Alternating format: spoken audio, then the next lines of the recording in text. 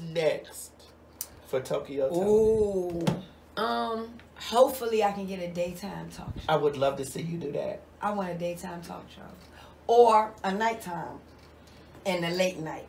However, I went to um, Dish. That wasn't Dish. It was another one. One of the radio stations. Hundred four or something. Uh, what is What- it? What's the radio station? I don't know. One of whatever y'all main one is. One hundred three point five. where um, K Michelle was on there. What radio station? Is it? She was a, a guest DJ or something. Oh. Well, anyway, I was on the show. K Michelle was like, "Oh my God, girl, I need to talk to VH1 man. You need to get us a nighttime talk thing or da da da da." But I never hear back from. her. So I don't really. Has Mona Scott or anybody reached out from to you from these places? I I believe they all scared of me. I don't know why.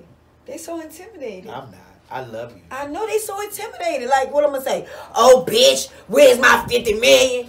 I don't know what it is. Because they probably don't see you going off on social media. it doesn't matter, but that's why you know me. Yeah. Because That's I do it. Because that- I do it too. Yeah. I don't be I be going off on motherfucking social media too. But, yeah, You know, but I well I used to. but I, that's this. yeah. They don't. Hollywood don't really care about. They just want to know where that money is, and being socially connected and disconnected. That blacklist. You could be up here, but it's a gray list too. I'm on that gray list. It's a gray list. Don't think it ain't.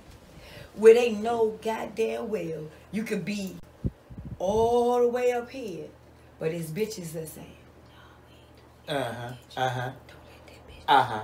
Uh-huh. Because think about it. Them Yeah. bitches in Hollywood been there all their life. Yeah. I've been in DC and the hood bitch came up and hit a whole lick on the whole show. hmm You don't think that will make a bitch mad that's in Hollywood? Yeah. Okay. But they not smart enough to say, well, let me give this bitch let's break some bread. Yeah. Too intimidated.